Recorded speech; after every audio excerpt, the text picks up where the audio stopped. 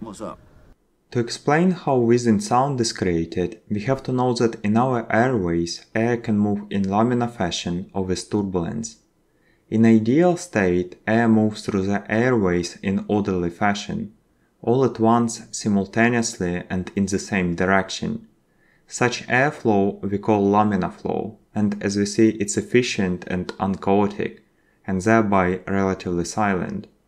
Because such airflow do not cause chaos, such flow do not produce significant noise. But the problem is that our airways are not usually look as a straight pipe. We have various conditions that can create some obstruction in the airways.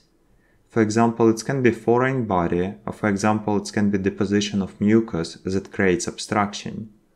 All of this can decrease the radius of the airways, and when air crosses such structures, these anatomical barriers disrupt the laminar fashion of flow. The analogy is driving of the car. You see, when car meets a barrier, car crashes. But air cannot crash due to its physical properties. Air tends to evade these barriers.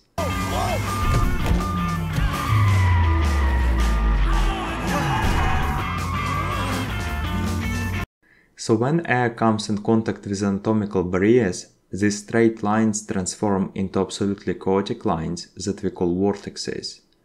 And exactly creation of such chaotic lines we call turbulence. The signature feature of vortexes is that they create a vibration of adjacent structures. And this vibration produces noise, and such noise in respiratory tract we call wheezing. So the most obvious analogy of such noise is the turbulence in the airplane. You know, statistically, the chance of a plane going down because of turbulence is less than what? One in a billion? Or is it a million?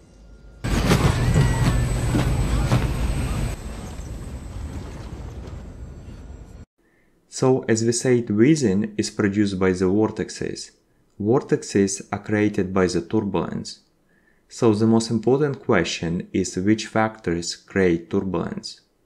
The factors that create turbulence can be described by Reynolds number. Reynolds number is directly proportional to air density, air velocity and diameter of the airways, and inversely proportional to the air viscosity. From all these factors, the most important one is the velocity. To explain why, we have to know that air has energy, and this energy is described by Bernoulli principle. According to this principle, air energy consists of pressure energy, also air has kinetic energy, and kinetic energy is determined mostly by the velocity of air. The higher the velocity of air, the higher the kinetic energy. And also air has potential energy. Potential energy is determined by the volume of air. The higher the volume of air, the higher the potential energy. And the sum of these types of energy is constant at every point of the airways. Basically, the idea here is that if one type of pressure decreases, another type of pressure increases.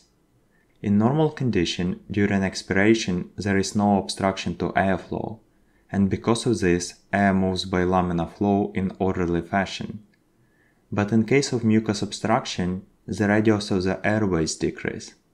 So what happens is that with decrease in radius, the volume of air at this particular region of the airways decrease.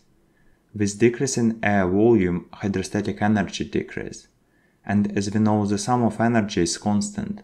So hydrostatic energy transforms mostly into the kinetic energy because the main factor that determines kinetic energy is velocity of air, decrease in hydrostatic energy cause increase in velocity of the airflow at this particular region of the airways. With increase in velocity of air, Reynolds number increase, and when Reynolds number exceeds 2000, turbulence becomes significant enough to produce a lot of vortexes. So these linear lines transform into chaotic vortexes the more vortexes are created, the more significant vibration they produce. The more severe the vibration, the louder is the noise. Thereby the louder is the wheezing sound. Great. Fine. Yep.